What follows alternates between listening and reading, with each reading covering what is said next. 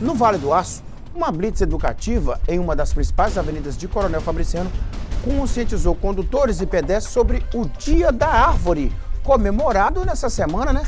O Dia da Árvore, mais precisamente na data de ontem, né? A reportagem está aqui, pode balançar. Dona Silvia decidiu levar a muda de limoeira, mas a planta será cultivada em outro estado, no Rio de Janeiro. Essa viagem é longa dessa planta, né?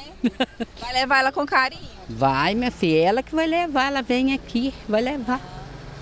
Importante.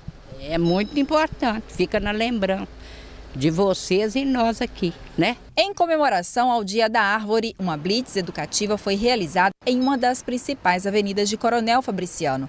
A ação contou com a participação da Defesa Civil, do Corpo de Bombeiros, da Polícia Militar de Meio Ambiente e de funcionários da Prefeitura.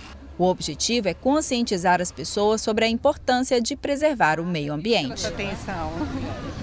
Tá levando a mudinha para casa? Tá feliz? Sim, muito feliz. Eu é, comecei agora a casa nova e tem uma planta nova em casa, né? Melhor ainda.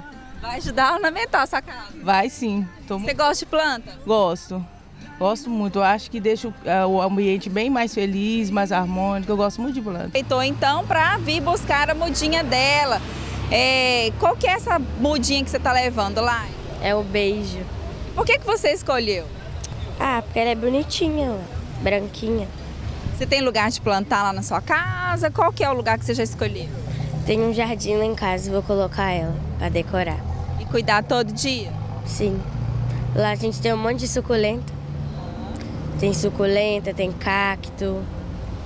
Eu gosto de planta. Planta é bom Além das Blitzen, foram distribuídas cerca de 60 mudas do viveiro municipal. Entre elas, plantas frutíferas, nativas e ornamentais. Elas são preparadas lá no nosso viveiro, prontas para plantar. Inclusive já tem algumas produzindo. Para a Polícia de Meio Ambiente, ações como essa têm grande importância, principalmente em períodos de maior incidência de incêndios florestais. Segundo a polícia, as principais causas das queimadas ainda são de origem humanas. No caso, a gente solicita aí ao cidadão, cidadão ordeiro aí, que se caso te, tome conhecimento aí de algum foco de incêndio da pessoa que esteja realizando aí a queimada aí, que denuncie no 193, no 190, no 181, para que a gente tome conhecimento e possa tomar as providências e fazer as devidas orientações. A programação em comemoração ao Dia da Árvore em Coronel Fabriciano está prevista para encerrar na próxima segunda-feira,